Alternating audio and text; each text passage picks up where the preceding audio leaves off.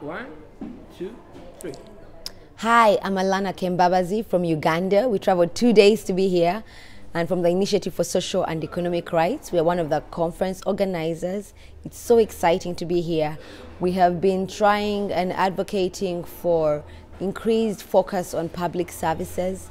This is the first time we're having this worldwide gathering of people, of activists, of movements, of CSOs, of trade unions, of everyone coming together to say we need quality public services as a right, as good policy.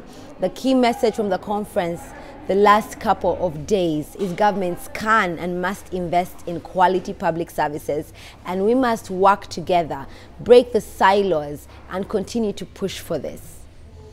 And uh, we have a couple of different sessions. Leading the health sector meeting has been thrilling to reflect on how we can ensure quality public health systems and push back against the, co the commercialization of healthcare. In economic justice, we've been reflecting on how we can use tax and other fiscal measures to make sure we can actually have quality public services. I'm hoping when we go back, we continue this work.